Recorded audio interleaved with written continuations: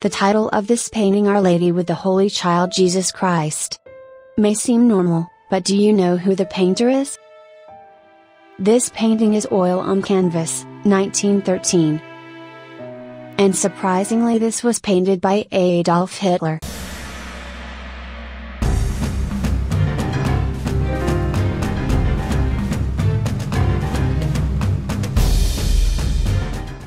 Adolf Hitler, dictator of Germany from 1933 to 1945, was also a painter.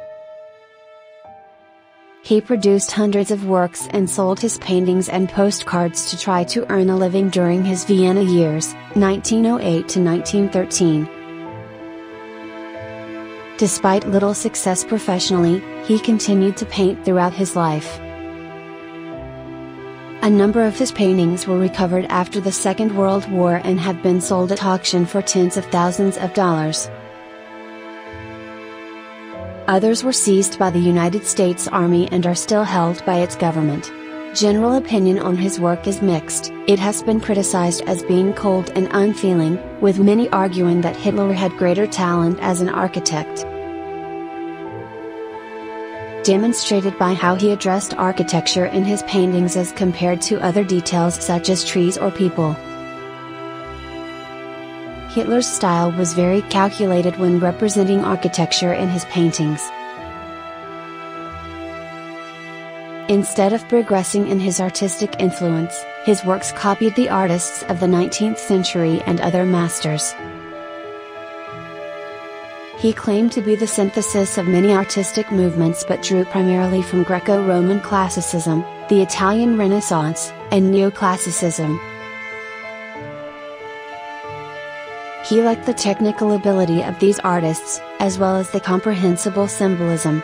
He called Rudolf von Alt his greatest teacher.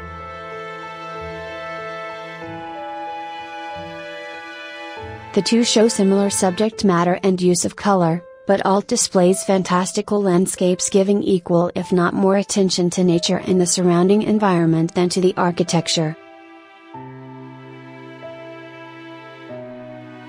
In his 1925 autobiography Mein Kampf, Adolf Hitler described how, in his youth, he wanted to become a professional artist, but his dreams were ruined because he failed the entrance exam of the Academy of Fine Arts Vienna. Hitler was rejected twice by the Institute, once in 1907 and again in 1908. In his first examination, he had passed the preliminary portion which was to draw two of the assigned iconic or biblical scenes, in two sessions of three hours each.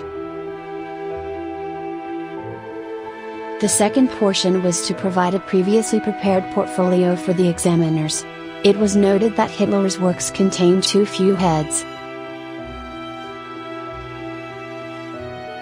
The Institute considered that he had more talent in architecture than in painting. One of the instructors, sympathetic to his situation and believing he had some talent, suggested that he apply to the Academy's School of Architecture. However, that would have required returning to secondary school from which he had dropped out and to which he was unwilling to return.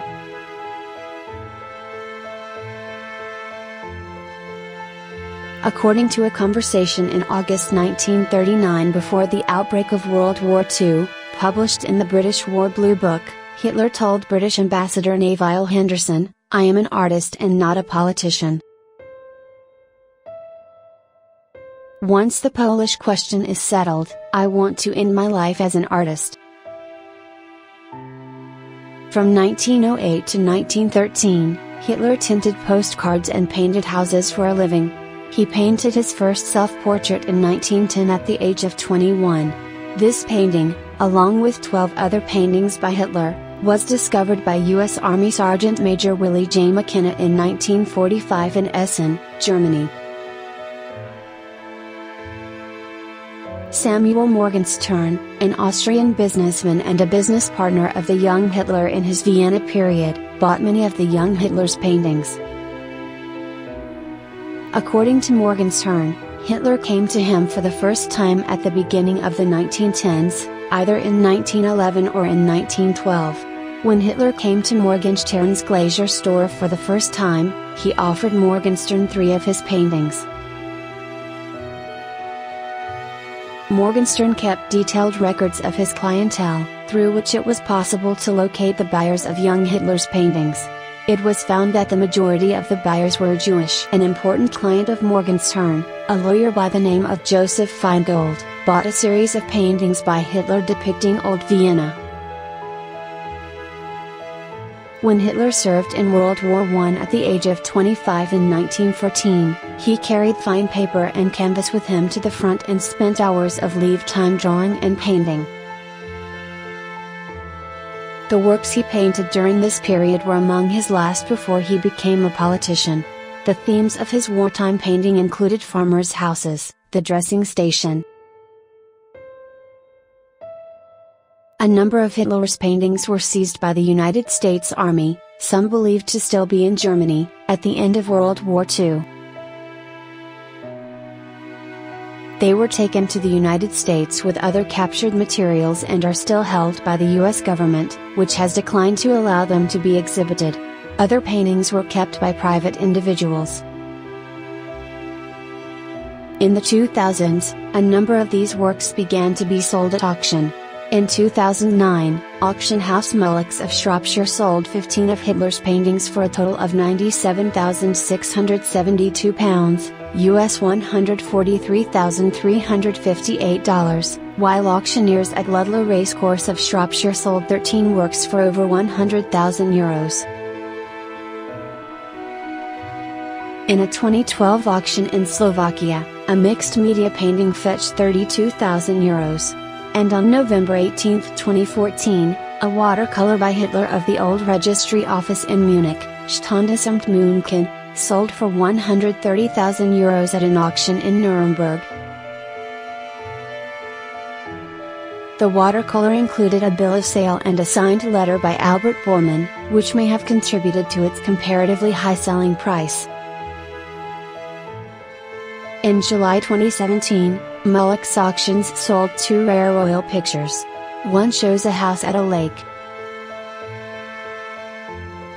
A group of scholars estimate that there are only 300 completed works by Hitler over the span of his life. However, Hitler mentioned in his book, Mein Kampf, that while in Vienna, he produced around two or three paintings a day. Even if he were to paint one portrait a day for the years he spent in Vienna, that number would be well over 600. Peter Jahn, perhaps one of the foremost experts on Hitler's art, said he had two interviews with Hitler. Hitler said in the six years he spent in Vienna and Munich, from 1908 to 1914, he produced over a thousand paintings, a few of them in oils, like Hitler's Tree at Utrecht from 1911. Jahn was one of the original people assigned by Schulte Strathaus, before Hitler annexed Austria in 1938. Jahn spent nearly four years tracking down Hitler's early works, until he was called into military service. Jahn became the art consultant to the German embassy in Vienna in 1937, where he would then search for, purchase and collect individual pieces of Hitler's art, in order to allegedly destroy a majority of the paintings. One of the most extensive private collections of Hitler's art was housed at the International Museum of World War II in Natick, Massachusetts. Thank you for watching.